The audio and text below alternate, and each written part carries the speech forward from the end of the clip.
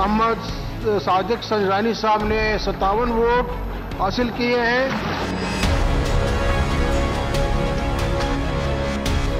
میں محمد صادق سنجرانی خلوص نیت سے پاکستان کا عامی اور وفادار رہوں گا۔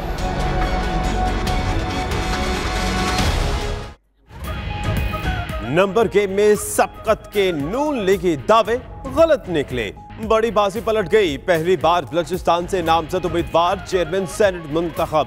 اپوزیشن اتحاد کے صادق سنجرانی کو ستاون ووٹ ملے۔ نون لیگ کے راجہ ظفر الحق چھیالیس ارکان کی حمایت حاصل کر سکے۔ نو منتخب چیئرمین نے عہدے کا حلف اٹھا کر کرسی سنبھال لی۔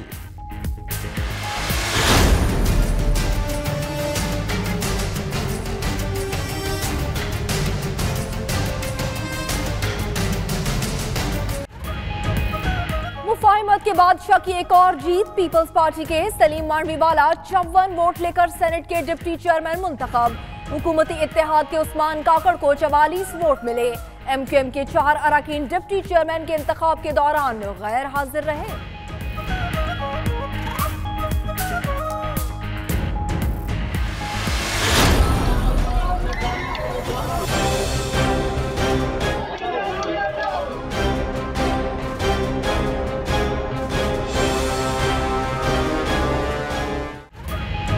چیئرمین کے انتخاب کے ساتھ ہی ایوان بالا میں لڑائی، سینٹ گیلری میں موجود شخص اور پی ٹی آئی رکن میں ہاتھ پائی گروپ میں وزیر اعظم کے صاحبزادے کی موجودگی کی بھی اطلاعات۔ حامد الحق کی جانب سے تشدد اور گلا دبوچنے کا الزام۔ ایوان کے باہر بھی کارکنوں میں تلخی، جیتنے والوں کا جشن، مٹھائیاں تقسیم۔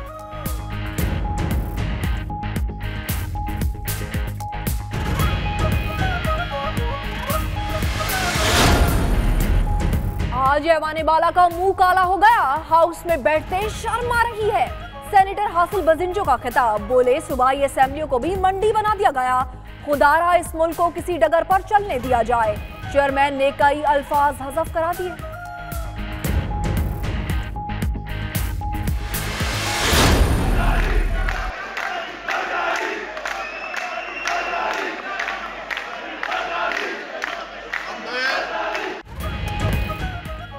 زرداری، سب پہ بھاری۔ نئے چیئرمین کا اعلان ہوتے ہی سینٹ گیلری ناروں سے گونج اٹھی۔ پی ٹی آئی اور نون لیگی حامیوں کے بھی اپنے اپنے قائدین کے حق میں نعرے۔ سلسلہ پارلیمنٹ کے باہر بھی جاری رہا۔ بلوچستان سے چیئرمین سینٹ کا انتخاب وفاق کو مضبوط کرے گا۔ عمران خان کی صادق سنجرانی کو مبارکباد۔ آج ضیاء الحق کا اوپنر بلے باز ہار گیا، بلوچستان جیت گیا۔ بلاول بھٹو کا رد عمل۔ ضیاء الحق کے فرنٹ بیٹسمین کی ہار نواز شریف کی جمہوری شکست ہے۔ شیخ رشید کا پیغام۔ مختلف رہنماؤں کے نو منتخب چیئرمین کے لیے مبارکبادی پیغامات۔ شطرنج کے مہرو، تم جیتے نہیں، تمہیں بدترین شکست ہوئی ہے۔ ذرا عوام کے سامنے تو آؤ۔ مریم نواز کا ٹویٹ، آج جمہوریت ہار گئی، پتلی تباشا جیت گیا۔ سعد رفیق کا ٹویٹر پیغام۔ غیر جمہوری عناصر پوری قوم کے سامنے بے نقاب ہو گئے۔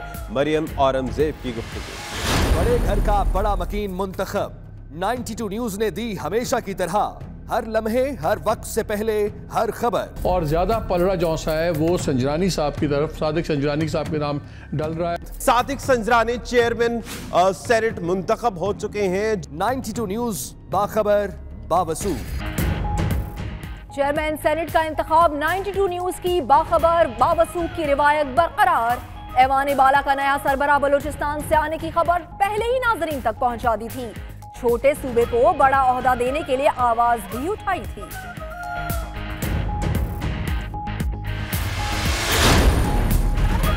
اپوزیشن اتحاد کے امیدوار کی بڑی کامیابی، گجراوالا، ملتان اور دیگر شہروں میں حامیوں کا جشن، ڈھول کی تھاپ پر پھنگڑے، مٹھائیاں بھی تقسیم۔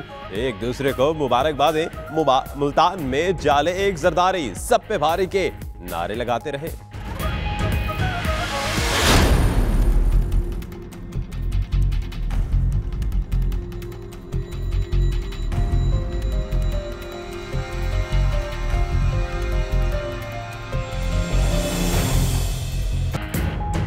چیئرمین، ڈپٹی چیئرمین کے انتخاب سے پہلے نو منتخب سینیٹرز کا حلف۔ تھر کی بیٹی کرشنا کوہلی کی روایتی لباس پہن کر ایوان بالا آمد والد، والدہ اور بھائی بھی ہمراہ تھے۔ میڈیا سے گفتگو میں دلچسپ جواب۔ بولی، علاقے کے لوگ سینیٹر کے بجائے جنریٹر کہہ کر پکارتے ہیں۔ خواتین کے حقوق کے لیے کام بھی کریں گی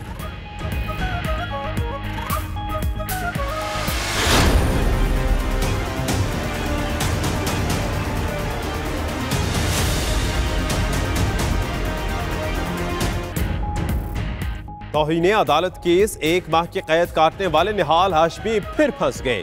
ججز کے خلاف قابل اعتراض گفتگو، سپریم کورٹ کا لیگی رہنما پر پھر فرد جرم عائد کرنے کا فیصلہ۔ چھبیس مارچ کی تاریخ مقرر۔ کسی جج کا نام نہیں لیا، صرف مظلوم قیدیوں کی آواز اٹھائی۔ نحال ہاشمی کی وضاحتیں۔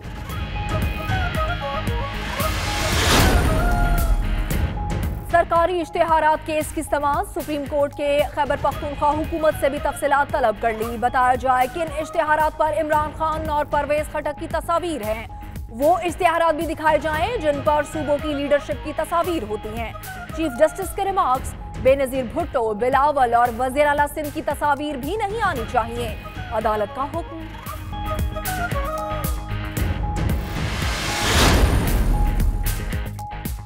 چیئرمین ایچ ای سی کی مبینہ غیر قانونی تقرری، نیب کا نواز شریف کے اقدام کی جانچ پڑتال کا فیصلہ۔ اسٹیبلشمنٹ ڈویژن کے افسروں کے خلاف بھی تحقیقات ہوں گی۔ خیبر پختونخوا کا بلین ٹری منصوبہ بھی احتساب بیورو کے ریڈار پر آ گیا۔ شکایات کی مکمل انکوائری کی جائے گی۔ نیب کا اعلامیہ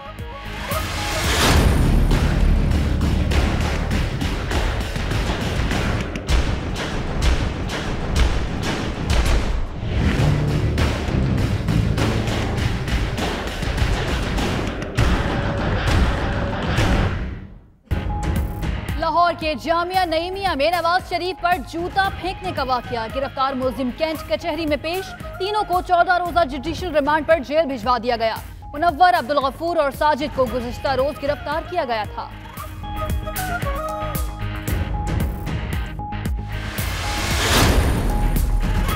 نواز شریف پر جوتا حملے کے بعد مریم نواز کا ورکرز کنونشن سے خطاب۔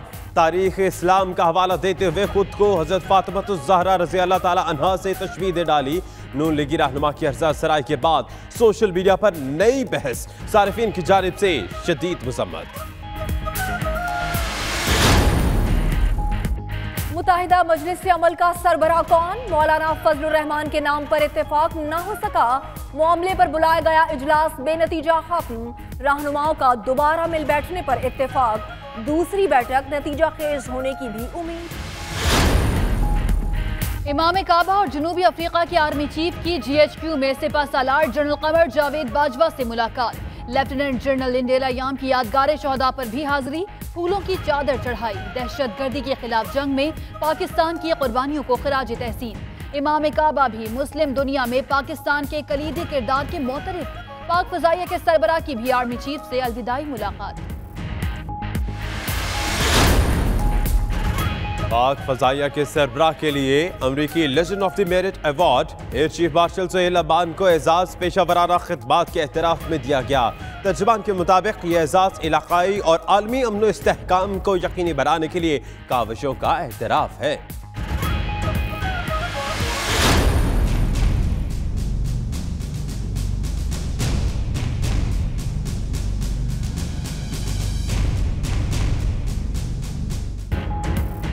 نہتے کشمیریوں پر بھارتی مظالم جاری قابض فورسز کی نئی کارروائیاں مزید تین نوجوان شہید۔ ضلع اننت ناگ میں بہیمانہ کارروائی کے بعد احتجاج، علاقے میں اسکول اور کالج بند۔ اقوام متحدہ کا مقبوضہ وادی کی صورتحال پر اظہار تشویش۔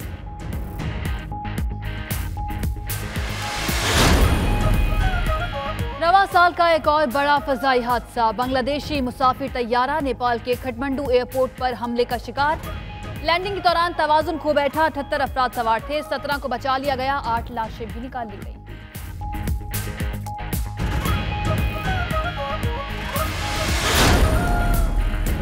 پیرس میں ہیروین کی برآمدگی پی آئی اے فلائٹ سروسز کے دو افسر معطل۔ Service base in charge Arif Butt اور flight service schedule supervisor Haroon Ahmed شامل۔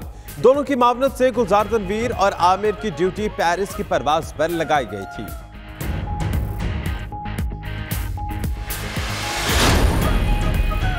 اگر کوئی سمجھتا ہے کہ پورا خطہ خود چلائے گا تو یہ اس کی بھول ہے۔ ایرانی وزیر خارجہ کا دو ٹوک اعلان، جواد ظریف کہتے ہیں، سعودی عرب کو خطے سے باہر نہیں سمجھتے۔ تہران، ریاض دشمنی اچھی نہیں۔ نواز شریف نے تعلقات بہتر بنانے کی کوشش کی۔